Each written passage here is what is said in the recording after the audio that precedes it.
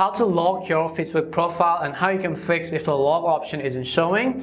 Hi everyone and welcome back to our channel. I'm Bimal from App Guide and in today's guide video I will simply show you the ways on how you can lock your Facebook profile. But before we get started, if you are new to our channel, do make sure to leave a like, hit that subscribe button and without any further ado, let's get started with today's video.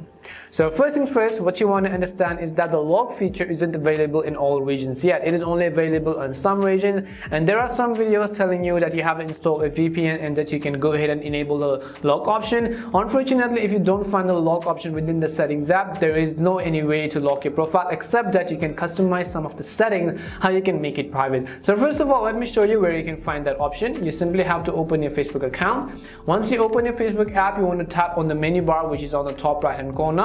Once you tap on the menu bar, we have to scroll down to the bottom and then select settings and privacy. As we tap on settings and privacy, we will tap on settings again.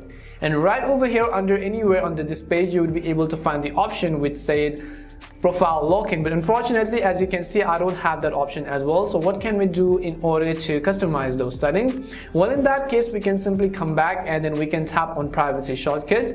As soon as I tap on privacy shortcuts what you can do is simply tap on see more privacy settings. Once you tap over here you could go ahead and check a few important settings yourself such as who can see your future posts who can see past posts who can see the people pages and lists you follow who can actually see your stories who can send you friend requests. You could go ahead and customize all of these settings manually and make them private if you want. We could also simply come back and we could tap on take a privacy checkup and customize who can see what you share, how to keep your account secure how people can find you on Facebook and so on. However, if this all of this is also relevant for you, I can also show you one more thing that is you can enable the profile picture guard so that no one else will be able to download or view your profile picture. And once you come to this page, you could go ahead and simply enable profile picture guard on your Facebook profile so that you can simply not let anybody to view all of your content and settings.